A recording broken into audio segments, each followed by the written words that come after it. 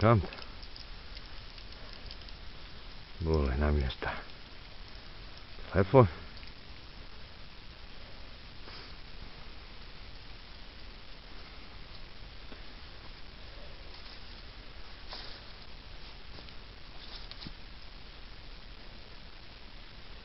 Stari majstor. Samo se lagano okreću. Dobro.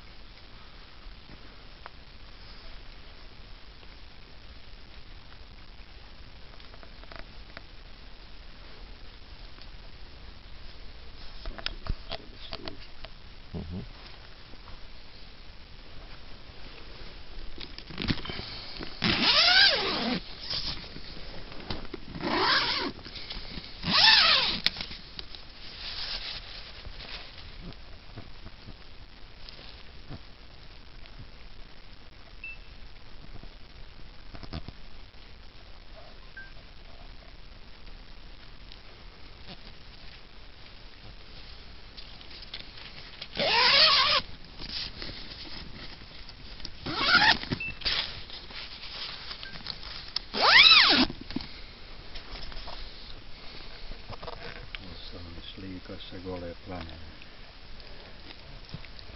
Večer u kobasice. I kompot od jabuka, divljaka i suvog grožđa. Odnosno grožđica. Lagano se kuha.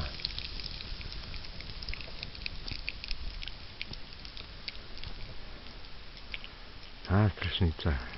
Jelenje. Słodką zalazak słońca.